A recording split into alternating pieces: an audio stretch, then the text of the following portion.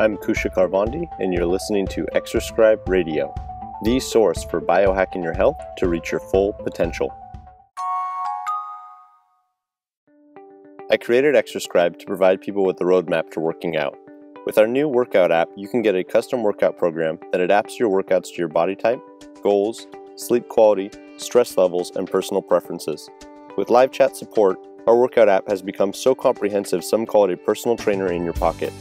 Our users are seeing over 90% success rates with their goals because we take the neural approach to fitness, meaning we integrate movements and exercises that recalibrate your brain and body to prime you for rapid strength gains and fat loss. Check out the Exerscribe workout app in the iTunes App Store today. In today's podcast, I interview the CEO and founder of Training for Warriors, Martin Rooney.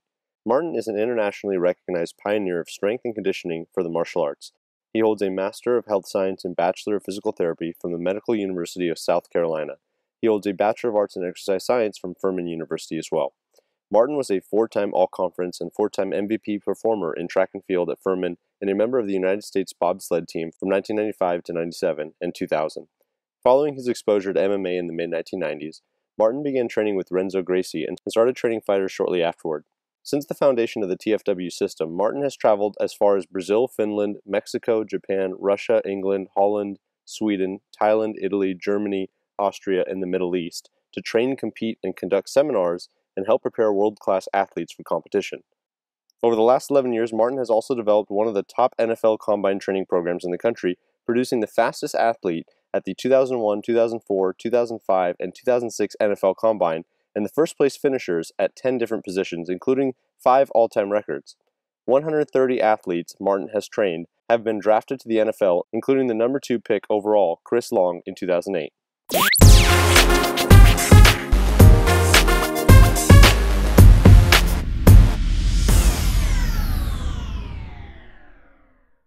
Hey everyone, we're here on Exerscribe Radio with the founder and CEO of Training for Warriors, Martin Rooney. Welcome, Martin. Hey, my pleasure to be here and uh, excited to hammer out some answers on some questions that we have today. Nice. I love the energy. so, just to get started, could you tell us a little bit about you and your background? Uh, sure. If you, eh, you know, that might take us an hour right there. But uh, uh, hey, for everybody listening, my name is Martin Rooney, and uh, uh, over the last 20 years. I've had a, I've worn a number of different hats in the fitness industry. Uh, originally, I was a track and field athlete in college and uh, grew up in New Jersey, but went to school in South Carolina and got my exercise uh, science degree. And uh, man, fitness was something that I always was so interested in, but I think so many people convinced me that that wasn't going to be a career that would be successful. I was uh, a personal trainer starting when I was 17 with absolutely no background. I was armed pretty much with lots of uh, arms routines to take people through, but that's about all I had. And uh, but I but I just loved being in the gym. That's where I always wanted to be. And but uh, everybody told me, man, you should be a therapist. You should be a therapist. So I went to the Medical University of South Carolina, uh, got my degree in uh, physical therapy, and then also got my master's degree in exercise science again because that calling, it was calling me, you know, that that's what I wanted, but everybody said there was just no career in it. And remember, this is the uh, early 1990s. It was the late 80s, early 90s at this point, and fitness really wasn't as established. So, uh, in a weird twist of fate, I end up becoming a member on the U.S. bobsled team.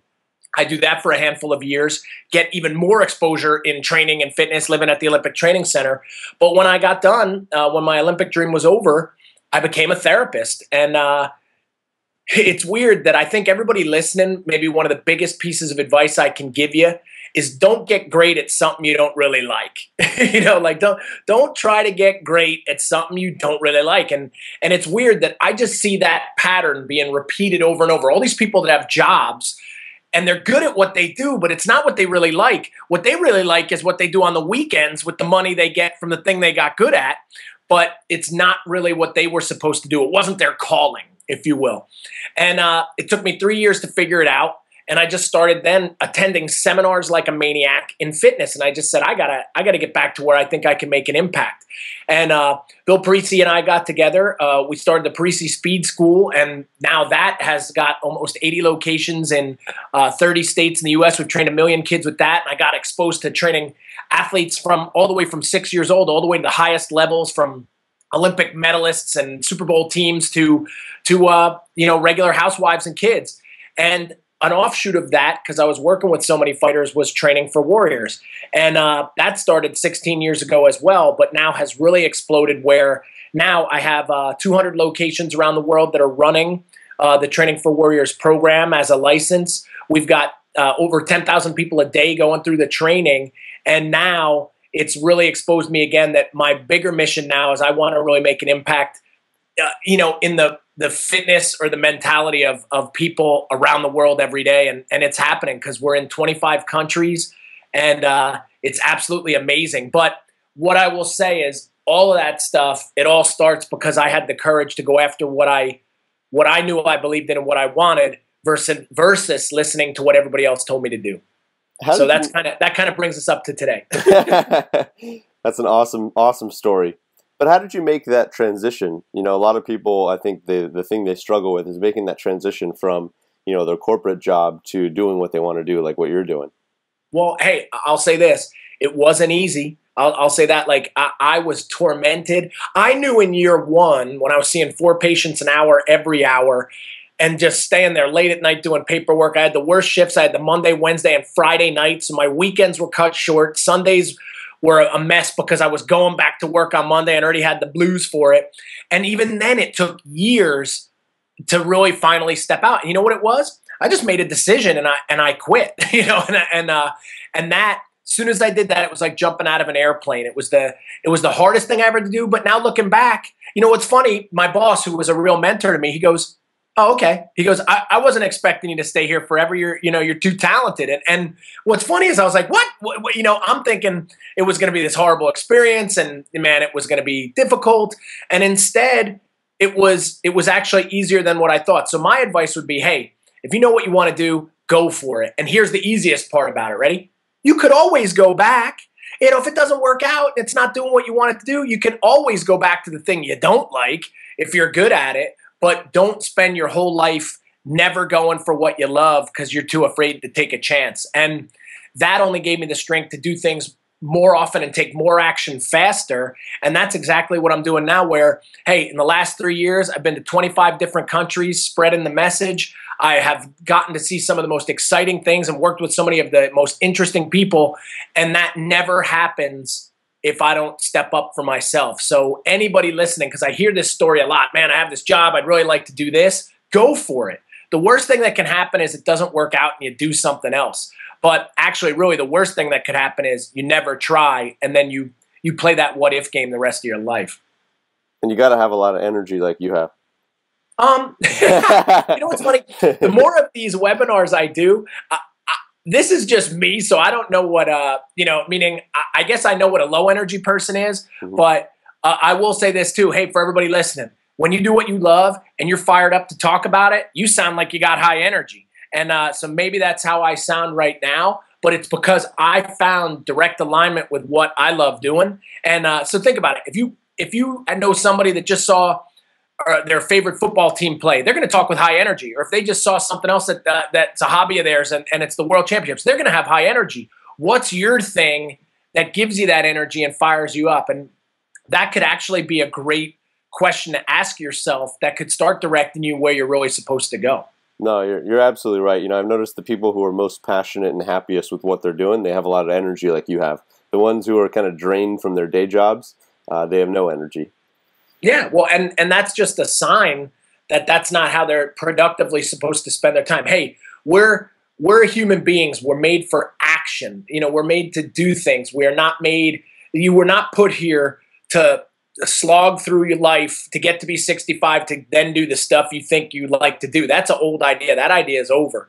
And it's just but so many people I see just going through the motions every day. So if you're listening to this podcast in a car in traffic right now and you and you hate sitting in traffic, that should be like your sign. You should just kind of like turn your car around and go find figure out what you're supposed to be doing. And and that's what I did. I had I had this horrible commute. Uh, you know what really pushed me over the edge? I had this horrible commute. I was really just I'd always have a knot in my gut and stress when I was going to work. And then one day my radio broke and and that was like the final the final straw because I would always listen to either motivational tapes or just something to get me through. And then I couldn't even do that anymore. And that's when I said, man, I got to get out of this situation. This is, uh, this is driving me nuts. And that was the piece that pushed me over. And man, soon as I made the decision, everything I haven't I'll say this, I haven't worked a day since. And uh and it's now going on almost 20 years. And that's where the energy comes from. Wow, I love it. Really motivational. that's my style. I guess. so, what's different about training for warriors than other training methodologies? and that's a great question. It's one that I get a lot recently, or you know, and and obviously people will ask me about different. Uh, or usually the question is prefaced like, "Hey, what do I think of this system or that system?" And uh, one of the things that I always say is about the other systems. I don't really think about them. Like right now, as you can see, I'm in Training for Warriors headquarters. I spend my time focused on what I'm doing and what our organization is doing to help people. And uh, so, in terms of can I really comment about other programs? Not really, because I'm not really focused on them or know what they're doing. But what I would say that I think separates training for warriors is uh, training for warriors is just not about training or, or, the exercise itself. It's really about, actually, I guess you could describe it as a lifestyle where I see so many other systems, it's more like, oh, yeah, it's uh, here's our exercise or here's our tough thing to do today or here's the workout. And uh, the workout isn't really the thing that's going to get people coming in there. And it's definitely not going to be the thing that changes their life outside of there. So, uh, other history on myself. I'm a black belt in judo, a purple belt in jiu-jitsu. I've been around many of the top martial artists in the world for the last couple decades. And what I tried to do is make training for warriors like a martial art, but instead of punches and kicks, use physical exercise and, and the personal development to improve them and it's working so you know we've got an army of trainers now there's been over 3000 people that have been through uh, my certification and like i said we've got 250 coaches running our program daily in 25 countries around the world and it's making an impact with people. So, for instance, yesterday I get an email and it says, "Hey Martin, I just wanted to thank you. I train out of a training for warriors. I got uh, my husband got stung by a bee, and uh, we didn't know he was allergic. He went into anaphylactic shock, and he's 200 pounds. But I was able to drag him. I don't know how far she said she dragged him, but drag him so far to get him to the car, to get him to the hospital, and save his life. And she said that wouldn't have been possible without the system. Or uh, the story of a guy that was in a wheelchair and one of our coaches got him out of the wheelchair and he walked his first mile where they told him he would never walk again in a training for warriors shirt. Or people that are now taking on cancer not just obesity but you know just bigger picture stuff. And i think that's my mission a whole lot more than uh than i care about like either how much somebody lifted or if they can beat somebody else. So that may be another big component too is uh, my system's not about competition. It's about people working together and uh, and really being a cool place where people can go and become more and not be embarrassed. And I think fitness today, we do have some challenges where fitness is scary for a lot of people, and uh, and fitness is also uh, potentially injuring people as well. And as long as that kind of stuff continues to happen, that hurts everybody in the industry. So I think training for warriors again, what separates it is I'm trying to look out for the whole industry by creating something that people can believe in that has good uh, motives and mantras from the beginning. Uh, maybe not making up the rules as I go, and you know, I, I hope that's you know a good answer. so, do you guys with your system? Do you guys cover nutrition as well? Yep. So in the system, obviously, I don't know how you couldn't cover it and have a successful system where uh, every session there is a portion de- dedicated to nutrition. And and I've been lucky to be around some of the best guys in the world. John Berardi helped uh, create the framework for our uh, nutritional philosophy. And I think I think everybody has to have that. Like every system's got hopefully its philosophy on nutrition. But what I would say is I think the difference about training for warriors again is hey, anybody can communicate calories or talk about foods but not everybody can get people to do it, and uh, that's the code that I'm trying to crack. So I'm I'm trying to get people. People don't eat when they're in your session; they eat when they're not with you. People aren't buying the food when they're in your session; it's when they're not around you. And uh, so what I try to do is create uh, impactful trigger messages that will change the people's behavior when they're not with me too. And uh, hey, you know, we're 16 years deep into the development of this system, and I, you know, I've spent uh, countless amounts of time and money to to develop this thing the best I can, but it's always evolving as well. So, but that's where we're currently at. So, yes, there is a nutritional component. I've gotten people that have forgotten more about nutrition than I'll ever learn to help build it for me because uh, that is not, you know, that's, I, you know, I think I'm pretty well schooled in nutrition, but I even want better. And then it's really, though, in the delivery process of how that's delivered to the individual person where the rubber meets the road on how you get results. Nice. What about this cool concept of functional training and functional fitness? There seem to be some growing buzzwords, uh, but it also seems well, that some trainers are kind of taking that too far. What are your thoughts on that? Um, you know, if, if you've ever seen any of my work, I've got some uh, funny videos, tongue in cheek, over the years that I've done uh, in, I guess, battle. But remember, what we're talking about here is semantics. There's so many words in fitness that just get made up or help to define a genre. I mean, I don't think even the best people can define it well. You know, the expert, a good friend of mine, Mike Boyle, he'd be, you know, he's a guy that I've seen him lecture on it, and it really makes sense when he does.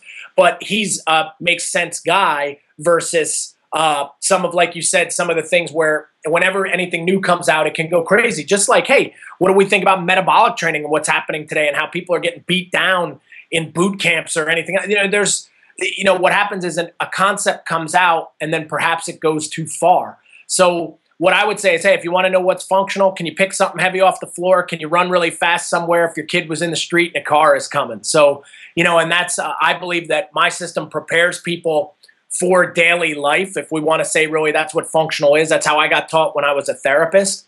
But I think, unfortunately, when people start uh, just making up exercises just to seem creative or, or, uh, without a really without a real concern of getting a result or actually if it works that's where we run into trouble. And that's again another part of my message that i'm trying to get out there to really get people to ask the questions of why they're doing what they're doing but also to bring them back to remind everybody in fitness that your real job is to get results. Your job is not your job is not to be super cool or have the latest fancy crazy thing that doesn't work and then people don't come and, and then they tell everybody fitness doesn't work our job is to connect, engage, and get people to do this stuff and hopefully use the best economical choices of exercise as you can to get a result. But overall, hey, I'm not going to poo poo the word functional training or whatever else. I know what it, I guess, means to me, but at the same time, sometimes people, yeah, like you were hinting at, people can take things too far. Exactly. What about some of your books? Tell me about that. Tell me uh, about Training for Warriors, the book. What's that about? Um, well, a number of years ago, I started, well, actually, yeah, 16 years ago, I started writing for different magazines, ranging from Gracie Magazine when I started to Men's Health, Men's Fitness, a lot of the, you know, considered some of the top magazines in the world for fitness. And uh, these articles eventually became a self published book that I did. And then, uh, then because of the success of that self-published book, Training for Warriors, uh, I got a real book deal with HarperCollins Publishing House in New York City, and I did the first book called uh, Training for Warriors. Now that book was more specifically designed toward, I guess, the it was a vehicle to get training across, but it was more it used the the concept of fighting or fighters, which could sometimes scare people away. But what I would tell people is if you really look at the training and you just take out the photos of fighters, it's not about fighting, it's about everyone. But remember, that book, I wrote that starting in, I guess, 2005, 2006. So it's almost a decade ago uh, in, in how Training for Warriors has evolved. The second book I did was called Ultimate Warrior Workouts, where they sent me all over the world to examine training in different countries of the world, which was a, probably one of the highlight experiences of my life. And then uh, I did a book uh, a couple of years ago called Warrior Cardio. And that book now transitioned to the Training for Warrior system isn't just for fighters, it's for everyone. And that book has exploded because it really identifies the bigger concepts of uh, warm ups, evaluations, metabolic training, and really trying to make sense of it. Where that's where John Berardi wrote the nutrition section. My old professors wrote the the uh, I guess you could say, scientific portion behind why this style of training works. And I really tried to just get a book out there that started to ask the questions about some of these movements that were happening. And uh, so those those are the three books. That, you know, anybody can find those on Amazon, and you know, each one's like 300 to 400 pages, and took three plus years of my life each time. But uh, you know, definitely, I think there's some great information. And all told, between the three of those, I think there's almost 1,200 total pages and probably a thousand exercises and a year's worth of workouts. So, you know, it was, uh, I poured my brain into a lot of that stuff. nice. What's uh, Success Patterns? What's that all about? Success Patterns was a book, uh, you know, Bill Parisi and I, when we were uh, putting the Parisi Speed School together, you know, Bill was this, you know, he just is such a savvy business guy and and the way that he gets things done and the combination of him and myself with the training knowledge and and and it was uh we really with the right reasons launched this thing and changed the sports performance industry. You know, for instance, now you know, 20 years later, I see so many facilities that are called sports performance. They got a piece of turf, they got some track, but in the you know, in the early 1990s, we were the, you know, we were the guys pioneering this stuff. And uh, I wanted to document that and write a book about his life, but the business principles behind how he did what he did. And that took me about a year to do. And it was a really, really fun project. So that book is, it's a business book a business book you could say about fitness, but really a business book about anything in business. But it's but it also chronicles our journey and how he did what he did. But there are some really cool lessons in there that people could benefit from. I don't care what industry you're in. So that one, total different uh, uh, spin for me. From you know, so there's nothing really per se about fitness or working out, but it really features my motivational style and and I guess business acumen in that one. Nice. I've also noticed on your site you've trained hundreds of athletes that have been drafted. You know, what's the secret behind that? well, you know, it's funny. The, some of these are classic questions that I, I always used to hear. Like, uh, so hey, so for people listening, another part of my history was I uh, we had one of the early successful NFL combine programs. So I've sent you know 150 guys drafted to the league. I've had the fastest guy at the NFL Combine in multiple different years, and I've got some of the fastest all-time scores in many of the events, and uh, and some of those will probably never be broken because the surface is now different. So it was a very big aspect of what I did and what I prided myself on to prove that the if I could prove that the system could work with the best athletes in the world, what could it do for you know regular Joes and Janes? And uh, but that program uh, was it was very high pressure. You would get athletes for a period of time out of the year, and you had to prep them for the biggest job interview they would ever have in their life. So mentally, emotionally, physically, you know, down to every meal they ate, you know, every you know thought they had in their head you wanted to try to make sure that they were putting their best foot forward and uh, you know we had incredible incredible success with that and I, I and you know now i'm no longer doing that because as I said, I want to try to make a bigger impact than than a handful of NFL guys a year. But uh, that was a really really cool experience, which also led me. I was a speed coach for the uh, New York Giants. I was a hand fighting specialist for the New York Jets for a bunch of years, and uh, so football also played a role in what I did. That's why I said when you asked for my story, now, hey, in 20 years, you can do a lot of stuff, and it's kind of like I can't fit them all in, but at least we're getting it out. But hopefully, for the listener, you're probably not saying, "Wait a minute, now he did this too. This can't be real." But hey, you spend you spend 10 years on stuff, you can get a lot of things done. And this this interview is now reminding me of that. That I'm old. Holy mackerel. so you know, you said you had your degree in physical therapy. You were practicing that do you see any flaws in that education system? I mean, do you use a lot of what you learned in school today? Um, here's what I would say. I love education, so I will never say don't go get a degree or don't learn because it's what you get out of it. I, I, considered myself a very serious student, so I really dove into the information regardless of wh- whether I was interested or not. I was there to learn to try to be the best I could be. Hey, you can also go to a university and get nothing out of it and have wasted your money and say you didn't learn anything. But my understanding of anatomy, biomechanics, physiology, pathophysiology, neuroanatomy, these are all things, and your my ability to connect with patients, interview them, evaluate, I think is incredible incredibly valuable to the fitness industry or for what I got. And I would never change a bit of that.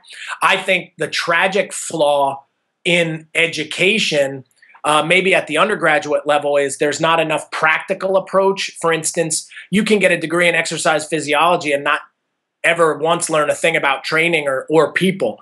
So what I would say is I think that if there was a better practical component where people really got maybe more into the real world. Because, hey, yeah, I did internships. You go somewhere for a month, and what do you do? You stand around and you don't really learn much. Or even when you work, I don't know if that's enough either. So, what it is, is education prepares you with knowledge that hopefully you can draw upon when you're out there in the real world.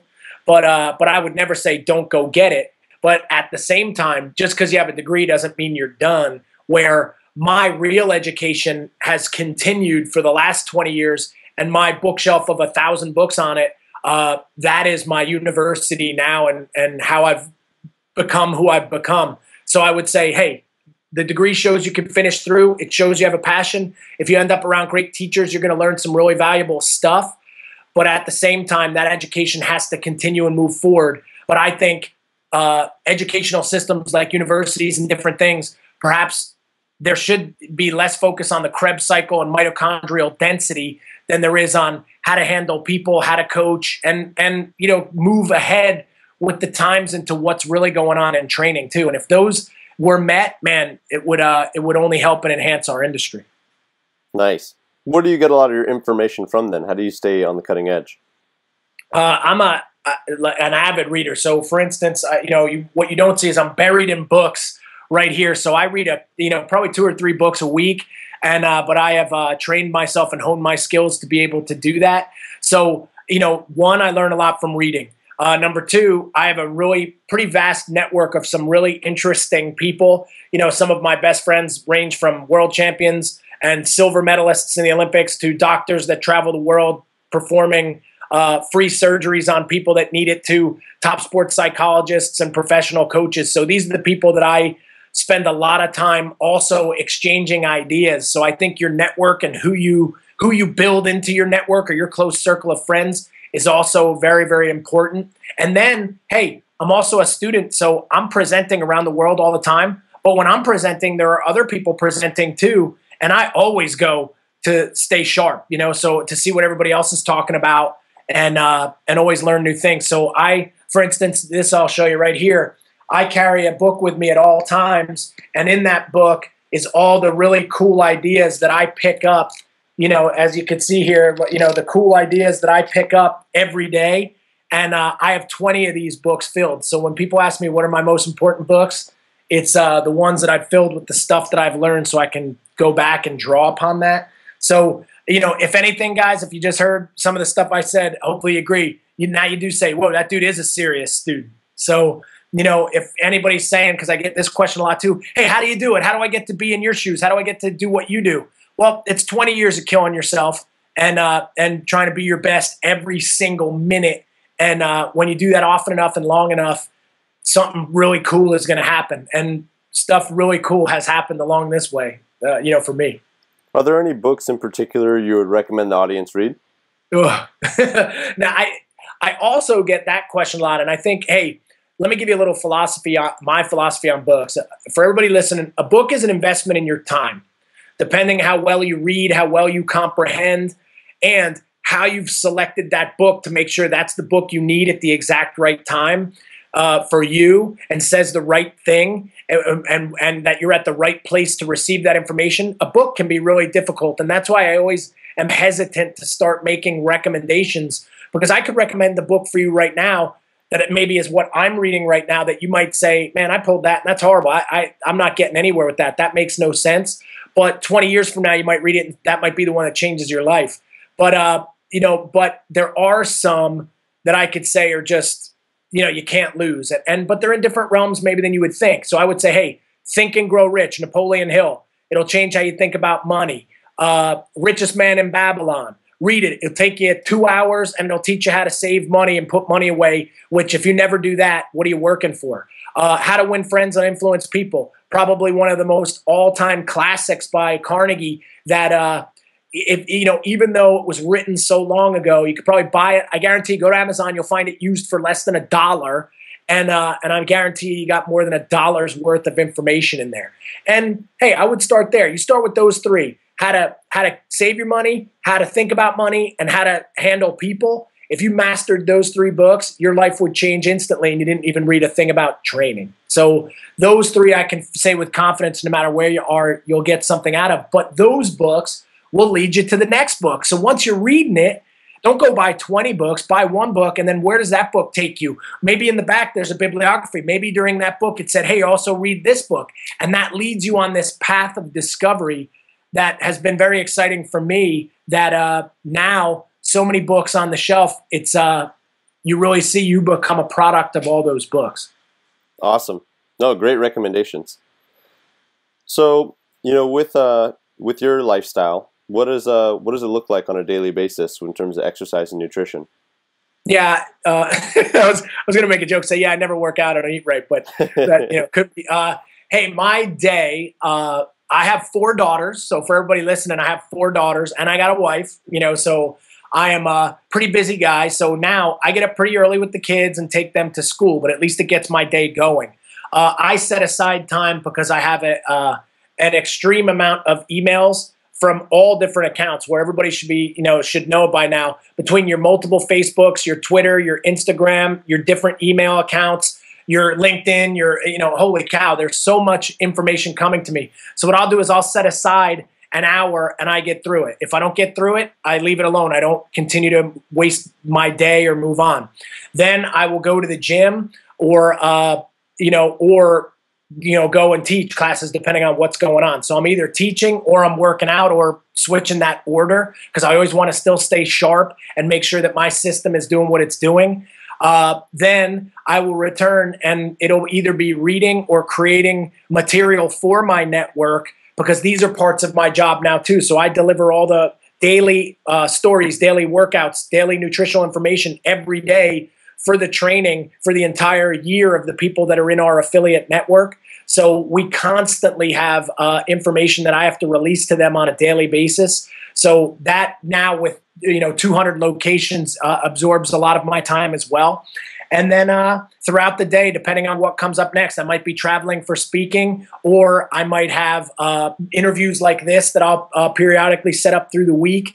And then, uh, and then throughout the day, I'm making sure I'm eating well and that I also get enough sleep. So one thing I'll challenge everybody out there, you're going to learn about me, guys.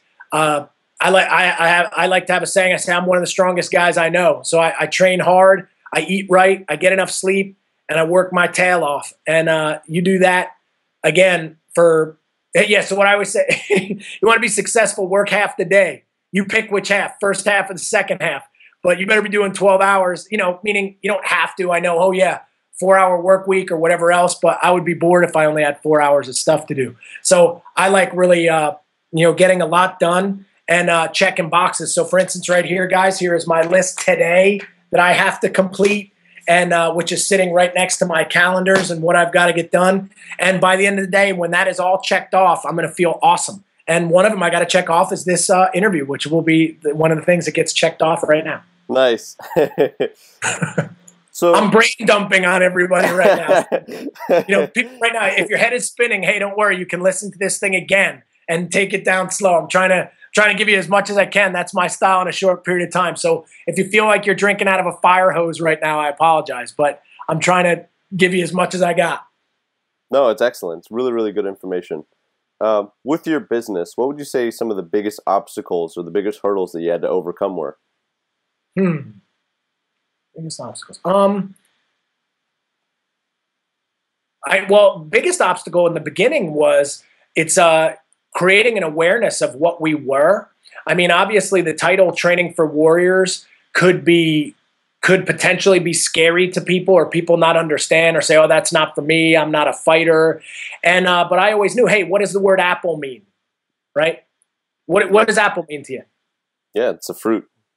You know, well, but see, most oh, people yeah. wouldn't say fruit. Most oh, people would say it's my phone or it's my oh, computer yeah. or it's my watch. Yeah, the brand so recognition. you can make it's your job to brand it. But I think in the beginning, the hardest thing was is to get the public to have confidence in it. So you want to say what's the biggest obstacle when you're selling a license? The biggest obstacle is selling the first one. So you know, you know, who was it going to be that somebody was going to say, you know what, I believe in this guy and this program, and I want to go for it. And uh, and it was hard, you know. And remember, it took us a year to get 11 people on board. And then in the second year, we only had 30. And now we have two, you know, and then the third year we had over 100. And now this year we've done 100 more. So it's kind of like, do you see how now people aren't afraid anymore and they get it? mm-hmm. and they understand, wow, this program is so cool and it's for everybody and it's, it's such an incredible value for what we get for what it is. And that's what I wanted to create. But I think the biggest obstacle was overcoming that stigma, but also getting people uh, on board to believe in it. Same thing with my certifications. I had, you know, my first few certifications, we couldn't get 10 people. Where now we close them out at 40 or 50 people, and there's usually a 20 person waiting list, and that's been for two years straight, anywhere in the world where we hold it. But it took, again, for everybody listening, it takes hard work. Like you gotta, you gotta do such a great job at those events when there's nobody to ever get a lot of people. And I think that was, if I had to say what was my biggest obstacle, it was that creating awareness, notoriety, and uh, trust or belief in other people that it was going to be a good thing. And, and now that I have done some of that, now the, the ball is starting to roll. Nice. That's great. So, really good information today. But what's one simple thing you would recommend our listeners start with uh, today to improve their health and fitness? Hmm. Well, here's what I would say: simplest thing for everybody listening. Are you listening? you know what to do. You know how to eat right. You know how many hours of sleep you need, right? Uh, watch how many hours of sleep you need. You know, if you're in your car, you're on your phone, you're going to say eight, eight, eight. You know how to eat right. You know exercise is important. You know how much sleep to get. The key is not knowing it. The key is doing something about it. So the world is not reserved for the person with information. The world is reserved for the person that takes action on that information. So what's the one thing you could do? Hey, put down the candy bar and get an apple. What's the one thing you could do? Get an extra 45 minutes of sleep tonight. What's the one thing you could do? Just go exercise. I don't care what it is, but do something and turn those somethings into a habit and your life will change. But if you just continue to dive deeper into gluten free and well, you know, uh, what about this? And I read that, and you never do anything about it. It's not valuable. So that would be my biggest piece of advice: is hey, you know what to do, guys. Now do it. And when you do it, it works. And if you do it, you're going to get somebody else to do it. And uh, that's what I've been trying to do every day. Awesome, really good uh, information today. I love I love the stories and uh, and I love the insights. I want to thank you again for being on our on our podcast, Exerscribe Radio today. Thank you, Martin. Hey, my pleasure. And if anybody's uh, interested, hey, check out my blog at trainingforwarriors.com. Uh, Got some great information there. And uh, hey, always write me, uh, you know, online or Facebook or whatever if, if this inspired you or whatever else, because that's the kind of stuff I love hearing that helps me uh, be more inspired when I do things like this because I know it has an effect. Awesome. Awesome. Yeah, great work today, and, uh, and I'll talk to you soon. Great. Thanks again.